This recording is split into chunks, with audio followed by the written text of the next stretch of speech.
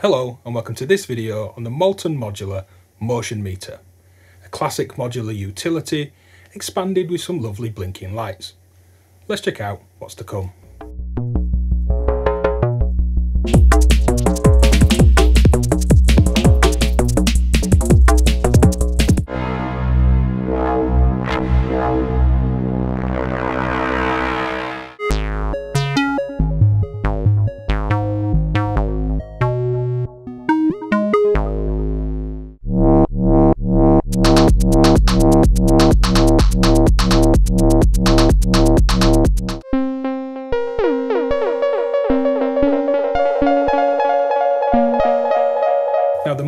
Is from Robin Vincent of Molten Modular and Befaco.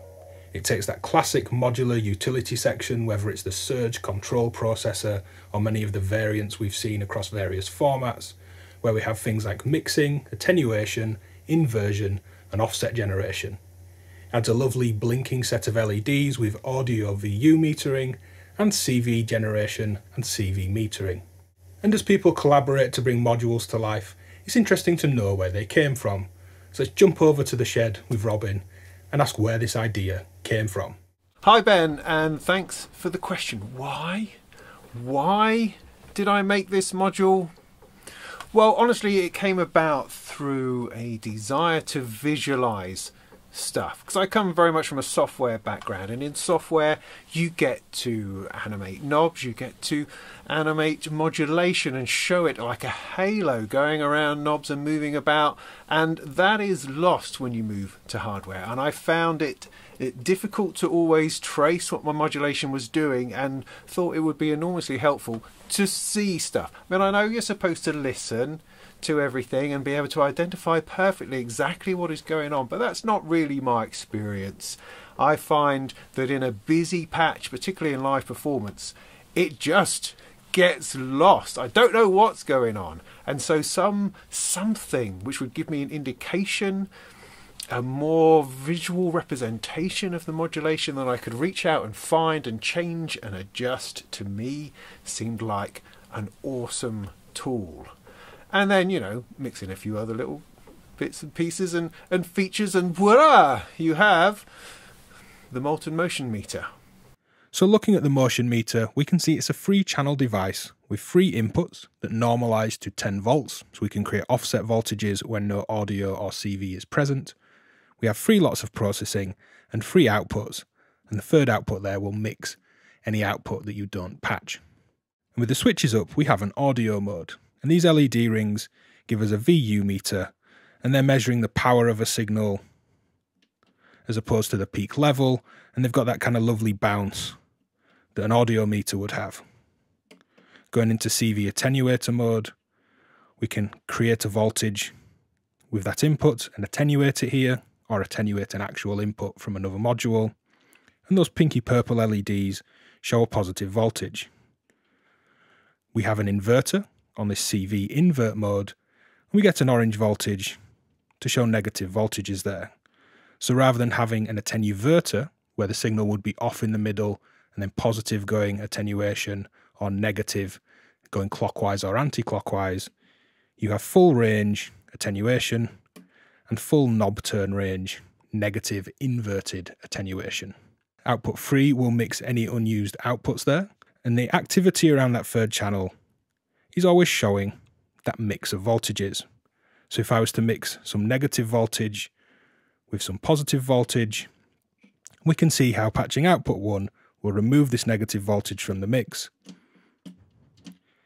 And patching out of output 2 is removing that voltage. Now I have five patches to show off these lovely blinky lights, and these five patches show different ways of really bringing these utilities to life. That timing index has been on screen, so skip around if you like, and let's dive in.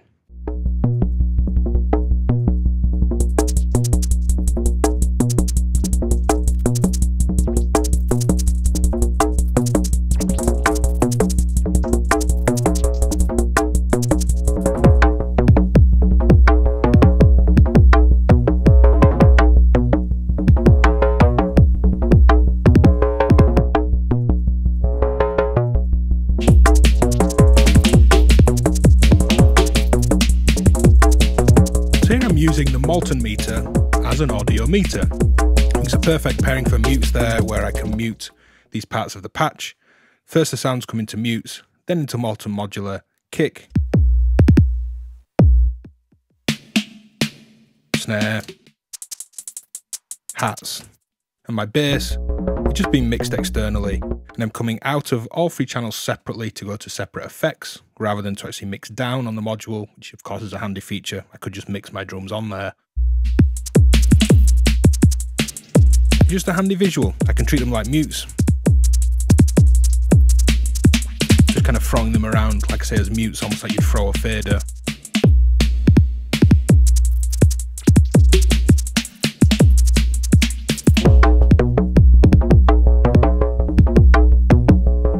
Now if you're a Patreon supporter, I'll do an exclusive rundown of this whole patch if you're curious about the effects, the routing, maybe the Three Body patching and the sequencing. So I'll be honest, part of making this patch was just to watch Oct LFOs dance around. It's its own lovely little blinking light show, and it's self-modulated, self-patched for some wave shaping, but it looks great dancing around on these bipolar LED meters. But of course, we can use this as an attenuator, which is massively handy here. The bottom LFO and this yellow trace is modulating panning, or rather the skewing of a filter, so it gets brighter to the left and brighter to the right, kind of seesawing these frequencies. Think of it like a filter pan, if you like. This is then some phase and FM modulation. This is as well.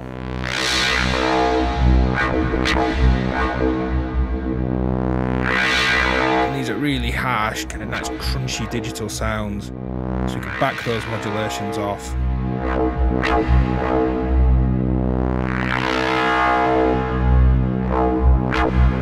Really kind of dial in this modulation.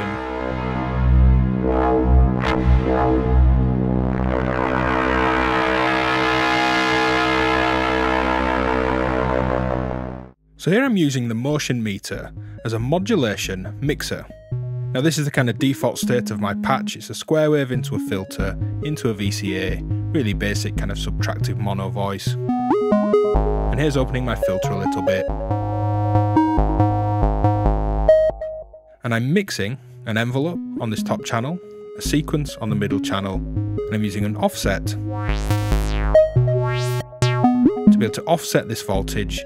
It effectively acts like another control just for the filter's cutoff. However, we'll be inverting that modulation and using it to negatively offset and pull down this mix of modulation that I create. So we'll start by using this sequence to modulate my filter's cutoff.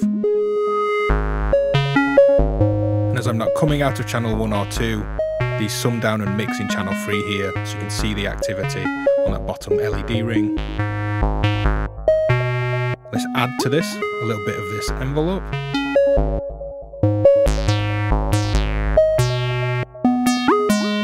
All mixing down out of that third output.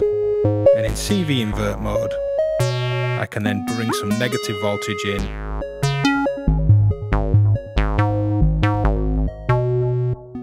And that's due to these normalized 10 volts that we get on all the inputs if we don't plug anything in.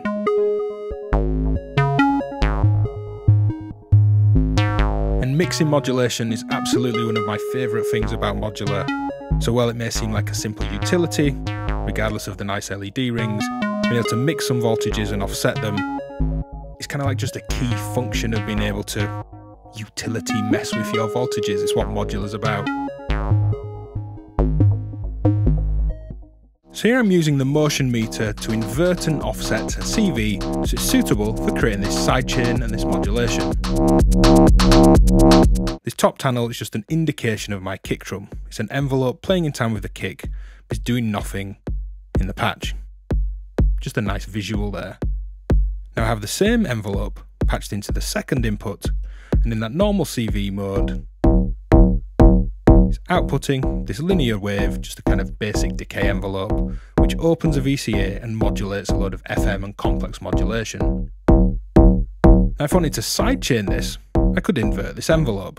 So I'll go to CV invert, and it does invert that envelope, but now there's no voltage to actually open anything up. It's a zero and under as opposed to at zero and going up. So by mixing, I'll go to channel 3 to do this. Notice this now shows what's going on, it's the output. And seeing as nothing's in 2, it's normalizing down, giving us this mix. I can first create an offset, so I'll go to CV attenuation there, 10 volt normalization. This opens my VCA and modulation, and then when I add my inverted envelope, that's going to duck back down towards that zero point, that blue line,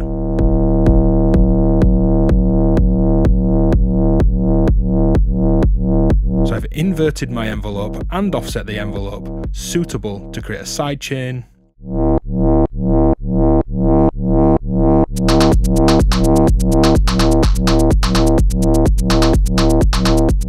So here I'm playing with visualizing feedback and controlling and creating feedback loops in this kind of nice murky lo-fi dual effect space that I find myself in. Now here's my dry sound, very simple little plucked melodic part. Now that dry sound comes into this FX Aid module for some reverb.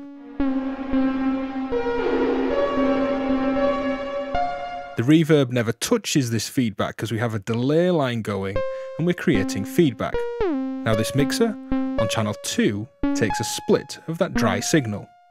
The output, channel 3 here, the mixed output, feeds my delay module which is just off screen. So you can hear a single repeat there when I let some of this dry sound hit the delay. There it is without. Dry sound in this mixer here, split of it being fed to a delay. Single repeat, no feedback, basic delay. I'm splitting the delay's output. One of them goes to my mixer so we can hear it, and another one comes back to channel 3. So as I crank up channel 3, this will start to feed this split of the delay back on itself, as well as the dry sound.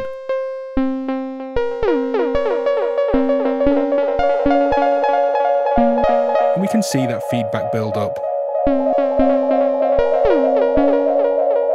Let's totally mute the dry sound in my mixer here. This is just the feedback just this delay. Let's add some sound back into it.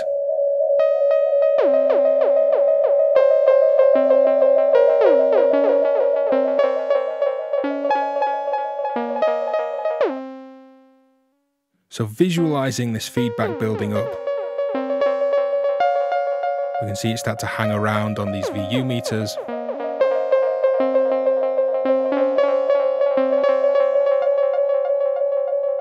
And with this mixer being this feedback loop around the delay, we can have our dry sound. Do we add reverb to? Have a delay layer by feeding some of this without the reverb to the delay. And then feedback around that delay.